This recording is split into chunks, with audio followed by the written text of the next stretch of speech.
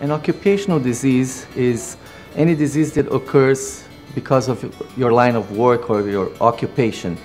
What happens is that usually in a certain line of work, you do repetitive movements. We take care of the whole process. From the very beginning, getting their cases approved, we're specialized in OWCP, and we get the approval of their claims, and we have a whole team of professionals, highly capacitated.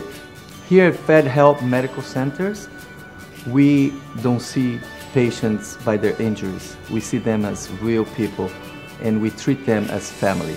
And that makes a whole lot of difference in their progress, in their improvements. We go deep into finding what their needs are and going and giving to them the best possible care they can receive. We are here to help them and that's what we do.